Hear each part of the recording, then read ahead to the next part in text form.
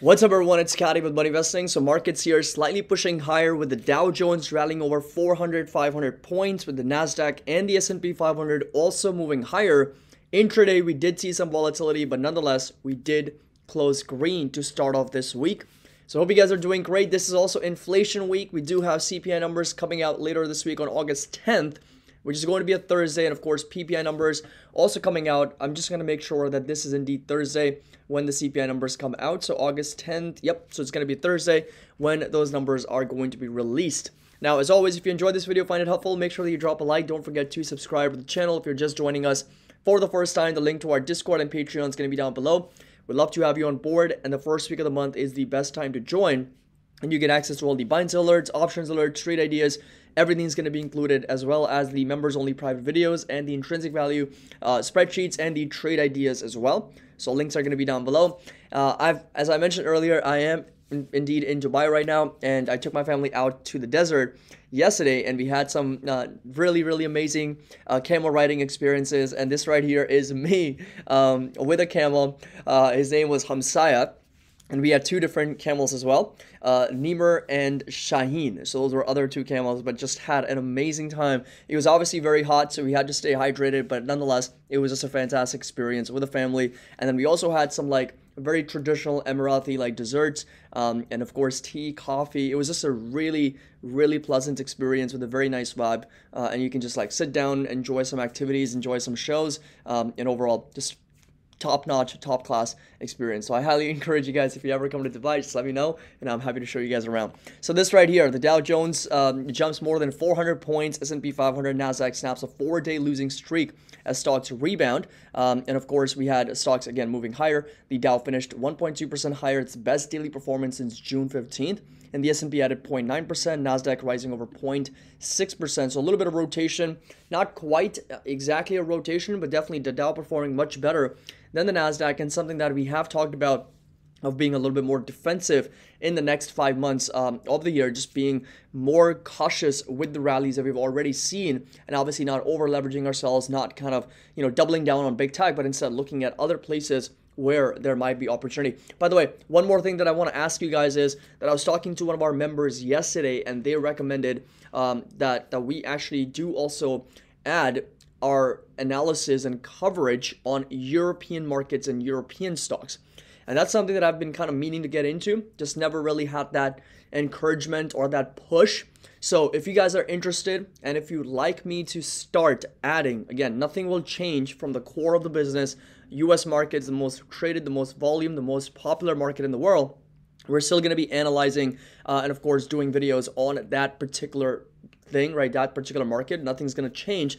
This is just going to be an addition for European markets, and of course the CAC 40, the DAX, the FTSE 100, um, you know the German indexes, of course, and the Italian indexes. All these different indexes in Europe and all these different stocks in Europe is what we are going to potentially analyze if that is something you guys are interested in. So again, wherever we go with this channel, I want you guys to be a part of it. Obviously, you guys are the most valuable you know thing of this channel is so I want to ask you guys if that is something you're comfortable with, if that's something you're interested in.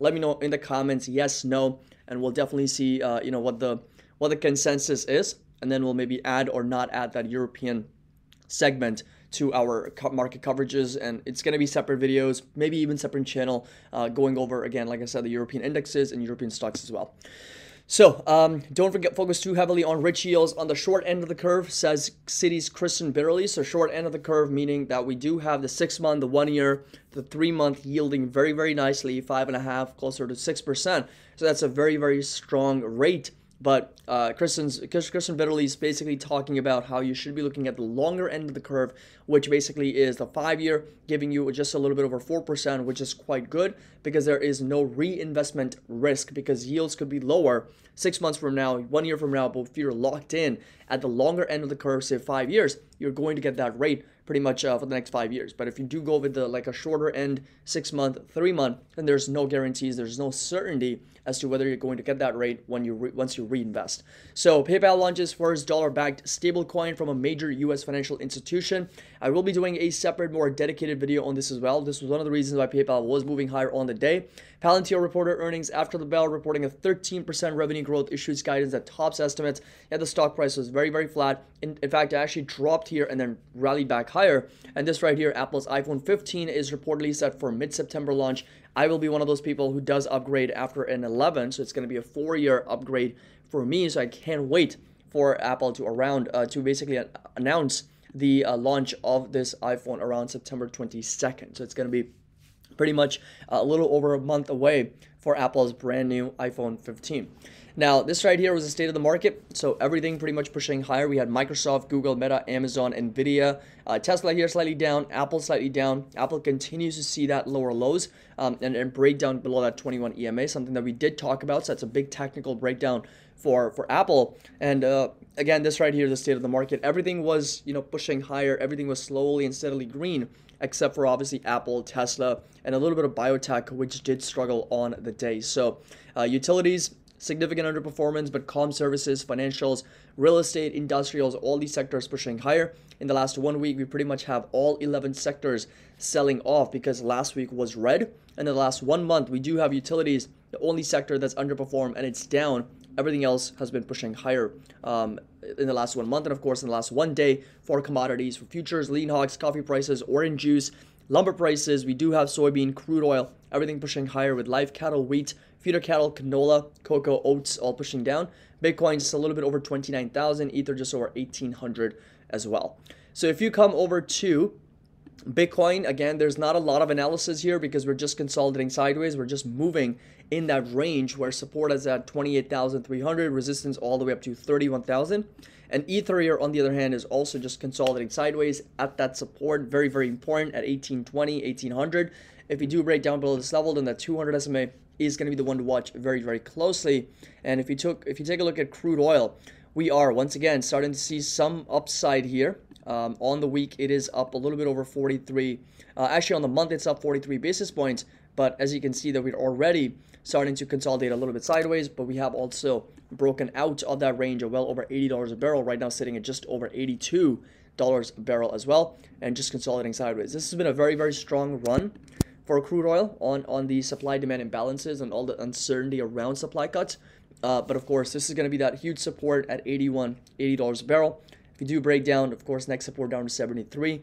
But if this rally continues, then we have to really watch $93 a barrel as that next resistance for crude oil. Inflation numbers are definitely going to be impacted, in my opinion, from the rally that we've seen in crude 14%, 16% rally in the month of July from crude oil, and of course, gasoline, retail gasoline prices also up 10 to 12% in the month of July. So, again, it's going to be quite interesting what those CPI numbers end up looking like here on Thursday, August 10th. Going over to the markets, so S&P 500 here, I'm getting a little bit of a bounce back higher. So, um, you know, we did start to break down below that 21 EMA, and it really came down to today. So this was one thing that I did mention with one of our members. We were having a Zoom call, and I mentioned that if today we don't get bought up, right? If today we don't see a very strong rally back higher, then it's more likely that we continue to see some accelerated sell-off. And the reason for that is because every time we break down below that 21 EMA, if the bulls don't step in right on the next day, like for example over here, April 27, we rallied almost 2% after breaking down below the 21 EMA a couple times.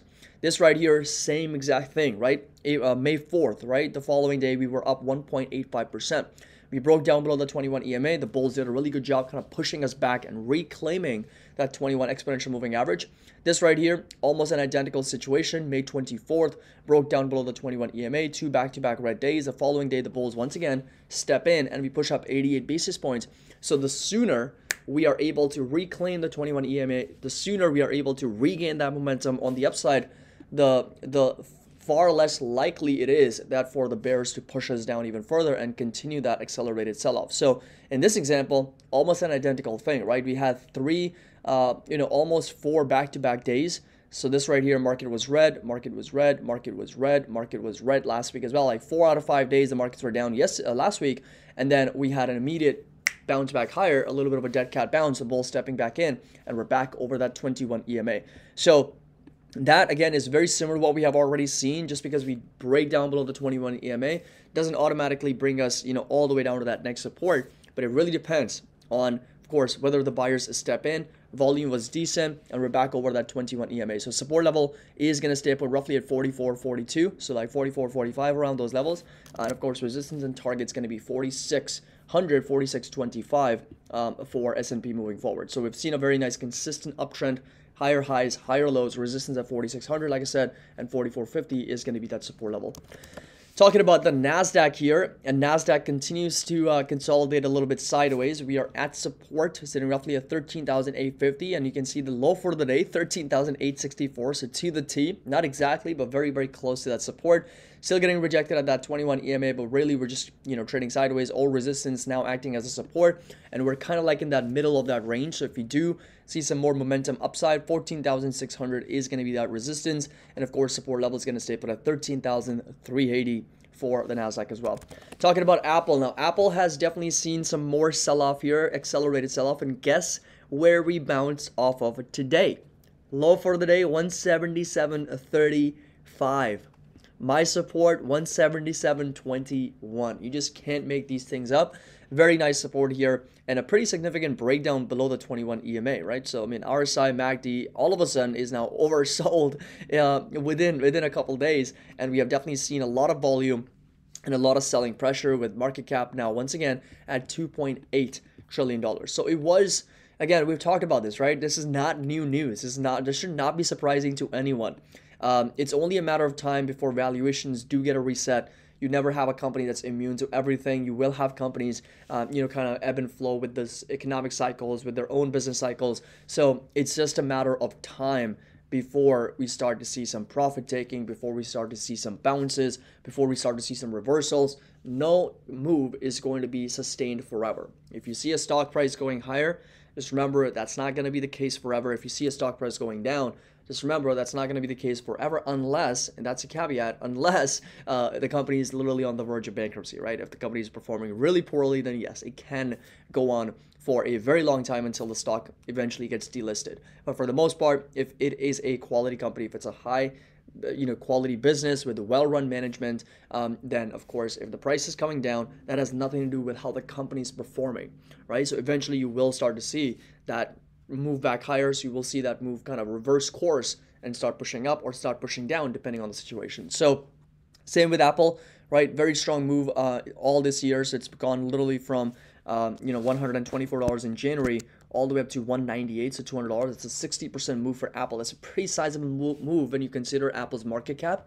And of course it started to break down more recently on the back of earnings. 21 ema breaking down support level 177 now in case we see a breakdown this week if inflation comes in hot if uh, you know jerome powell at the jackson hole meeting in august later in august is super hawkish whatever. If the market starts to break down further here and if apple starts to break below 177 next support right here 159 and this is going to be a fantastic like one of the best swing trading prices for Apple you can ever ask for. The risk reward is going to be far better than where it's trading at the moment. That'll be down a little bit over closer to 20%. And 20% is like the average, uh, average, how much average on average Apple is usually down, right? So 157, 158 is going to be very strong support, very nice support for Apple to watch. Talking about Amazon, Amazon here continues to get bought up, so pushing right back up. And, uh, you know, obviously last week on Friday, it did sell off intraday on the back of some other, uh, you know, macroeconomic factors. Even though the earnings were great, fantastic earnings, and it deserved to be higher, it sold right back down. And today we're kind of normalizing once again. And resistance is going to be 146, support level at closer to 137 for uh, for for Amazon. Now look at Tesla again, another one of our examples. Literally came down to that support at 242. We talked about how Tesla can certainly be in the 240s very very soon. And uh, we literally just came down to $242. That white line you guys see, that's a support. Uh, and of course, get bought up, right? So intraday, lots of buyers stepping in, $9 move from low to high. And of course, we're, we're getting bought up there. So support level is going to stay put at 240 and resistance all the way up to 275 for uh, for Tesla moving forward.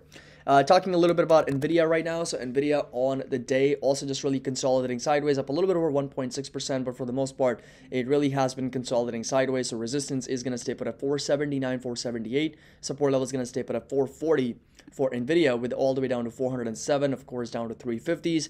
Valuations massive, like it's it's insane how crazy expensive uh, Nvidia really is. Uh, so of, of course that's uh, that's one thing that we have to constantly be aware of and be cautious of. Um, so resistance, like I said, 480, and we've got earnings coming up later this month. So we'll take a look at what they actually end up reporting.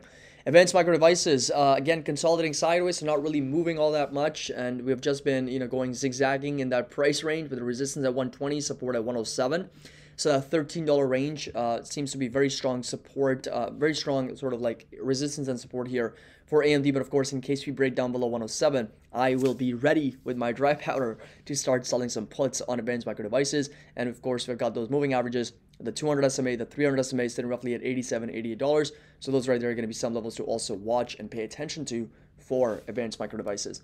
Uh, talking a little bit about uh, PayPal here, and PayPal on the day pushing up over 2.6%. So decent recovery, decent bounce back higher after two really consecutive back to back brutal days. Um, and resistance, again, is going to be all the way up to 69 to $70. A lot of the work that PayPal actually put in was wiped out because of the earnings, but there's a lot of, um, there's, there's, the only reason for that obviously is the decrease in transaction take rate, the decline in active accounts, both of those very, very marginal negatives versus a lot of the fundamental positives that they reported. And I think the company needs to come up with a new management plan and a new vision for the business so that they can reignite that excitement, reignite that confidence and that growth for the company once again. It's got potential, fundamentals are solid, but the price action obviously is not that great. So support level is going to put stay put at 60, resistance all the way up to 69 to 70 dollars per share for PayPal. Talking about Square, and Square also has been selling off quite aggressively. We talked about the potential short trade idea on this on this stock coming up to a resistance, very very overbought. Of course, three to four back-to-back red days, and now sitting at support at 62. I will be doing an earnings uh, video on Square. Uh, there's been a lot of requests for doing a video on block so we'll be doing that very very soon. Uh, but support level, like I said, is going to be 62 down to 59, down to the strongest support at 51, 50 dollars per share for this company, and of course now the RSI MACD are much more uh, in, in, in a better level down to oversold levels compared to where they were just a few days ago. Uh, talking about Meta platforms here, and Meta on the day continues to push higher over 1.88%. Support level is going to stay put at roughly $300.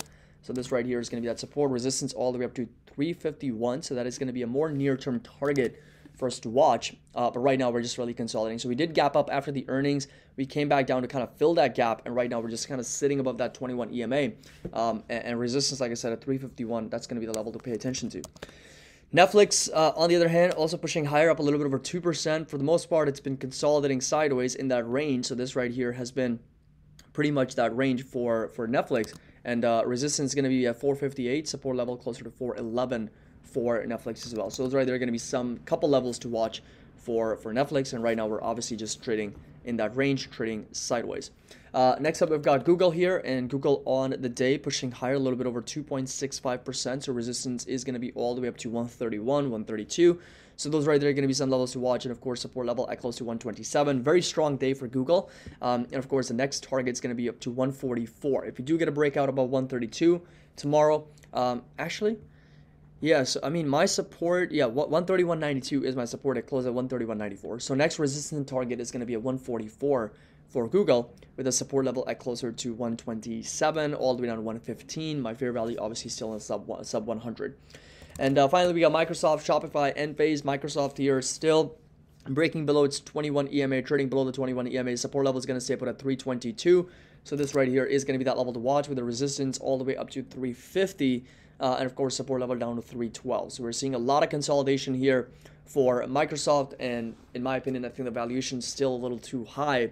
So wouldn't be surprised if we do start to kind of break down a little bit more, come down and, break below 322, maybe even 312 for uh, for Microsoft moving forward. Uh, next up, we've got Shopify, and Shopify here also continues to sell off a little bit over 62 basis points. Support level is going to stay put at 54, so that's the level that we're really watching. A resistance at 66. And uh, there was a bit of a rising wedge pattern for Shopify, so it continued to kind of trade in that range before finally starting to see that breakdown, pretty aggressive breakdown after the earnings. Support level, like I said, is going to be 54. And uh, last but not least, we got Enphase Energy. So ENPH continues to sell off down another 3.25%, so coming down to the 130s. Definitely starting to enter into our good deal territory. People, I'm going to say it once, and I'm only going to say this once. A lot of you guys have been asking me questions. Yes, my plan is to dollar cost average in the 100s, low 100s. Yes, yes, yes, yes. I will dollar cost average. My plan is dollar cost average in the 120s, in the 110s, in the low 100s. Uh, and of course, the valuations have come down significantly for Enphase. And this is almost the identical same level it's come down to that it was trading at during the January 2022 uh, May 2021, and of course May 2022. So yes, so support level is going to be in that good deal area in the 110s, 120s. So hope you guys enjoyed this video and a complete update on the markets. Let me know your thoughts down in the comment section below. And uh, again, you know, we've got inflation numbers later this week. That's really what's going to dictate what happens with the market later. Uh, of course, interest rates right now pegged at higher for longer. Five cuts in 2024 and starting in March. So as always, if you enjoyed this video, found it helpful, make sure that you drop a like, subscribe to the channel. Link to our Discord and Patreon is going to be down below. As always, happy investing. I'll see you all in the next video.